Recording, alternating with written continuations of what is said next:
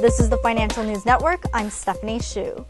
Akamai Technologies reported fiscal third quarter EPS of 34 cents, which was in line with consensus estimates. Revenues for the quarter rose 23% year over year to $253.6 million, ahead of consensus estimates of $249.7 million. Paul Sagan, CEO of Akamai, said, quote, Akamai performed very well in the third quarter, and we believe we have solid momentum heading into our seasonally strongest quarter of the year. We continue to make key investments to support our customers' online businesses and successfully meet the growing demand we have been seeing for our portfolio of cloud based services.